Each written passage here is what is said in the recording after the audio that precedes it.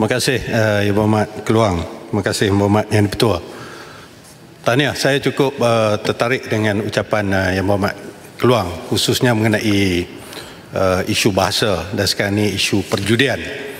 Jadi mengenai isu perjudian ini, adakah uh, Yang Berhormat bersetuju dengan saya bahawa pertama perjudian atau gambling in whatever form dengan izin adalah suatu kegiatan atau amalan yang ditentang oleh semua agama. Makna tidak ada agama di dunia ini mengatakan gambling atau perjudian ini satu benda yang baik untuk siapa-siapa saja. Dan kita melihat dalam perjudian ini tidak ada orang yang mendapat keuntungan kecuali toke judi, tauke, kasino dan sebagainya.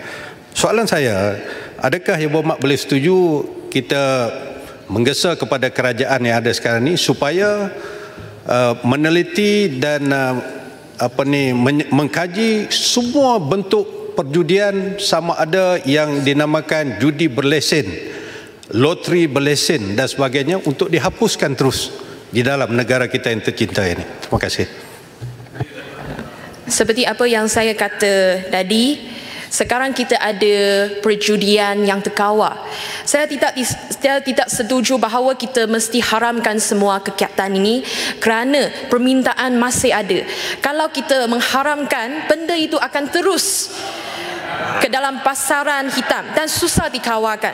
Iaitu lebih baik kita ada cadangan untuk mengkawalkan dengan cara yang lebih baik. Saya akan teruskan dan nyatakan apa cara saya.